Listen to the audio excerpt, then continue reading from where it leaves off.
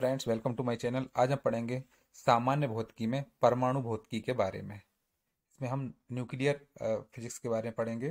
जिसमें नाभिकीय विखंडन, एक होता है न्यूक्लियर फिजन। परमाणु बम, क्या कहलाता परमाणु बम में यह नाभिकीय विखंडन की प्रक्रिया पर आधारित होता है। तथा यह भयानक व अत्यंत नरसंहारक होता है। परमाणु बम, नाभिकीय विखंडन की क्रिया पर निर्भर होता है। दूसरा है नाभिकीय संलयन। मतलब न्यूक्लियर फ्यूजन।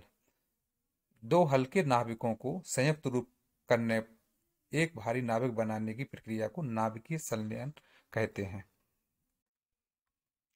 फिर सूर्य की ऊर्जा। नाभिकीय संलयन सूर्य की ऊर्जा का स्रोत है।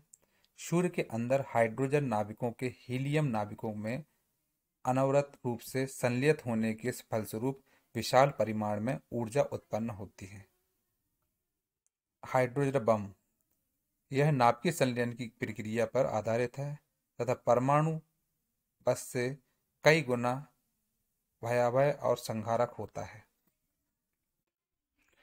फिर आता है इसमें पढ़ते हैं नाभिकीय ऊर्जा न्यूक्लियर एनर्जी नाभिकीय विखंडन में अत्यधिक ऊर्जा उत्पन्न होती है। यूरेनियम के एक परमाणु में लगभग 190 एम मेगा इलेक्ट्रॉनिक वोल्ट ऊर्जा उत्पन्न होती है।